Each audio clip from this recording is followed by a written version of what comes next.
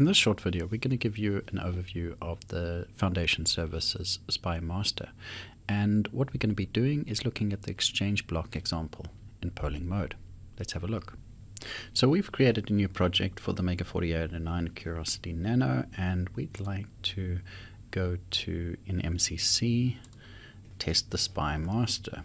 So checking that all available libraries are selected, you can see that we have a SPI master and a SPI slave, both from Foundation Services. The SPI master is an abstraction module for SPI peripheral modules. Click to open documentation. We'll add this to our project. And you can see as it opens, we can add a specific instance of the SPI master. SPI 0 is added by default. So we can see SPI master and peripheral SPI 0. And also we can see that there's an exchange block example available. So we can select that and just checking SPI 0. Here we can see it's not interrupt driven, enable SPI.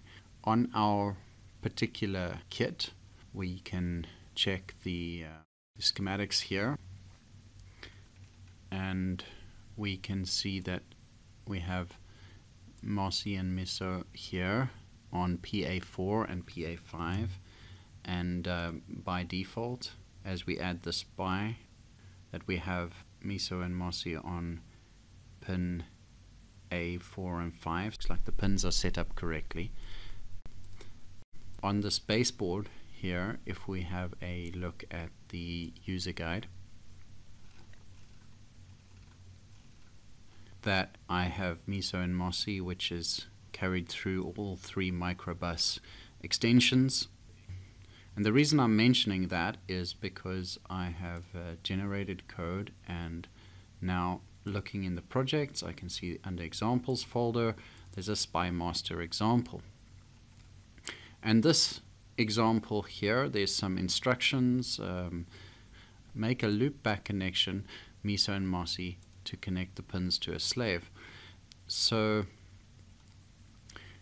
what's happening here, we open SPI master, there's a select certain slave, but if we don't use the slave, then we can loop back. So we'll try and exchange a block.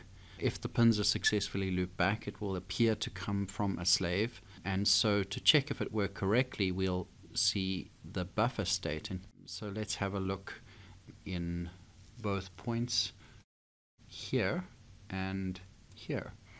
So what we're going to do is call this example from main SPI master test and if we're going to call an example we should call our SPI master example. Let's start a debug session. Okay, so here we come into the SPI master test and we're wanting to exchange a, a block and at this point our buffer is showing DATA in the buffer. And as we run to the string compare at this point buffer has just FFFF and so we can see that the buffer was not exchanged with the slave, which would be our loopback slave. And if I plug in the loopback in MISO and MOSI, then I'm going to so reset and run. Here I can see my buffer is data and running again. After the exchange block, my buffer is in fact still data.